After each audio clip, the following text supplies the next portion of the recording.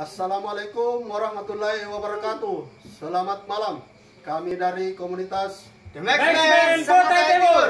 menghimbau kepada seluruh masyarakat dan komunitas yang ada di Kutai Timur untuk tidak terprovokasi terhadap kejadian di Minahasa Utara. Serahkan penanganan kepada Polri. Wassalamualaikum warahmatullahi wabarakatuh.